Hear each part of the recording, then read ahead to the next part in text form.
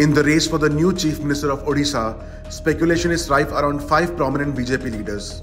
As the ruling Biju Janata Dal Juggernaut faces a significant challenge, attention turns towards potential successors. According to the Hindustan Times, five frontrunners from the BJP have emerged.